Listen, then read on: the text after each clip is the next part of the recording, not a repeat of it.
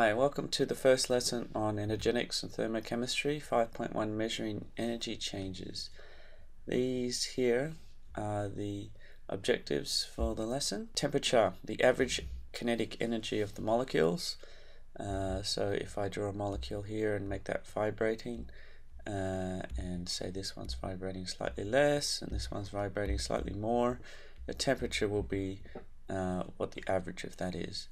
The heat is the amount of energy in a substance. So I could have something that's quite small, that's quite hot, such as a flame, uh, but it would still have less heat than something that was quite cold because there is just a lot more particles. So if you add all these particles up, it'll add up to more heat energy than what uh, this hot temperature flame is. Alright, definitions you need to know. Enthalpy is the amount of energy or heat content of a substance. The energy is stored in chemical bonds. It includes kinetic and potential energies and it's not measured directly but changes are measured. So we're only measuring changes. Uh, that's why we have delta H, which is change. Alright, standard enthalpy of a reaction, you need to know the conditions as well when you give it. So if you're measuring the standard enthalpy, uh, don't forget to have a little zero there and of course it's 298 uh, Kelvin and it's uh, 100,000 uh, pascals so that is five zeros there. But the change in enthalpy, what we'll be doing uh, to measure the change in enthalpy is uh, reactants go to products uh, so what we'll always be doing is taking the products and minusing it from the reactants so you need to remember that. That will change as we do other types of enthalpy. Uh, so if you find that uh, when you have a reaction here, let's say,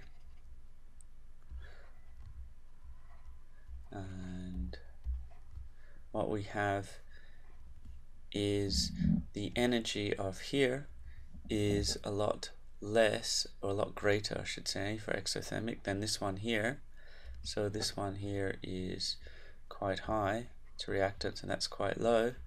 Uh, when you get the products minus reactants, that will be a low value minus a high value, so delta H will be negative.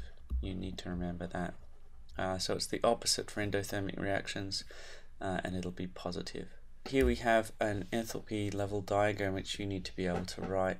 So I'll just draw that same uh, reaction there because it's simple over here and that bond there needs to be broken. So you can see uh, that there is always this activation energy here that's needed. Alright and then we will have uh, this reaction here form. So for an endothermic reaction that bond was quite had quite a lot of energy in it. Um, and so it took this much energy to break it. And then uh, when it formed uh, the products had uh, a lot of energy stored in them. So that's how it got even more energy stored in it. That's quite unstable so that energy can be released. Uh, so let's just take it down to another reaction here and just do the opposite perhaps. Uh, if we take this it's got a lot of energy. Uh, we take a little bit of energy here to break it and then it will form a much more stable product that has much less energy stored in it. And that that will then have a more stable bond down here. Okay so for this one here uh, you can see the uh, reactants and the products and the reactants and the products uh, delta H equals products minus reactants.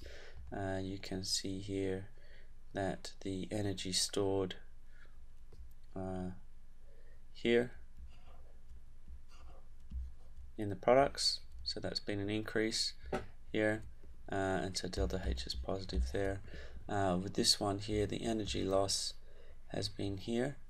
And so for exothermic uh, delta H is negative because you've lost this amount of energy in the bonds that have been stored. If you're given examples of reactions that are combining with oxygen, or if you're given reactions that are an acid plus a base, be aware that the surrounding temperature will increase, so that's regarded as exothermic. Alright, uh, as we said before, they have less energy stored in their bonds, which makes them more stable. Uh, and so they have stronger bonds, so they're actually harder to break. So the, the bond enthalpy uh, of which we'll learn in a second, next lesson or so, uh, it's actually harder to break them. Moving on to the calculations now, we use this Q here to represent the energy. Uh, M is the mass in grams, C is the specific heat of water, and delta T is the change in temperature. So uh, just remembering because we're doing uh, usually delta H and sometimes we forget to write the little zero there, it's per mole. So we need to work out how many moles has occurred in the reaction divided by N if we're using the standard enthalpy. Just also remember for most ways, the most common way to actually do these calculations is to see how well the energy heats up water. So there's always an assumption that uh, if you've got a centimeter cubed of water, then the mass is just one gram. Okay, here is uh, the, a simple way that we can do it, the normal way that we do it.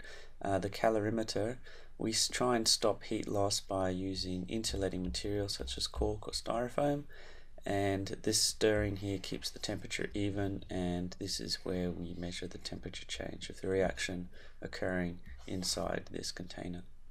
If you want to do a little bit better than that, uh, there's something called a bomb calorimeter. Uh, it is contained in steel and then we just use electrodes to blow something up in here. Uh, it's a little bit better, it's got a motorized stirrer um, and so there's less energy uh, being put into here, such as with a flame, because you're using electrons to ignite the substance. It's very important that you have an idea of the errors. The most important error will be with uh, the heat lost or gained. Now the heat can be gained because of this, uh, you're heating it up in some way to make the reaction work.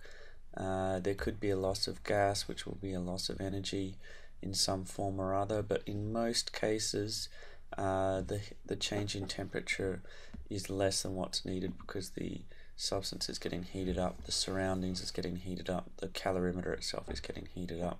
So you're losing energy that way. Uh, another thing to think about is the precision. How accurately can you determine the temperature with the instrument that you have? When you do these experiments in class, you will find that your graph will look very similar to this and it'll have a curve. The reason because of that is because as soon as you add it here, uh, it is constantly cooling. Now in class I found uh, at about 100 degrees Celsius the cooling curve of water actually looks like this.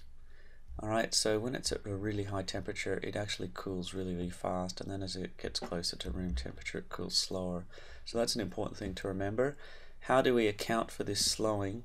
Uh, we need to draw a line of best fit along here and then we need to work out when we added the the substances together and then we need to go from here and draw a straight line across here.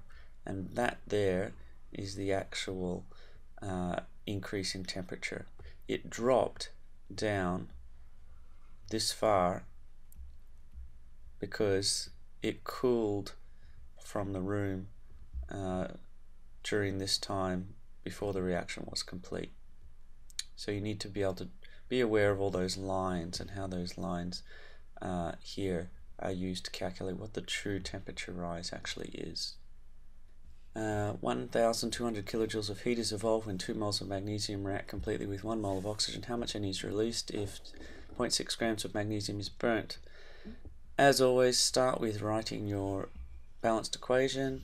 Uh, make sure uh, you've got state symbols as well. Then we need to work out what the heat of combustion of magnesium is.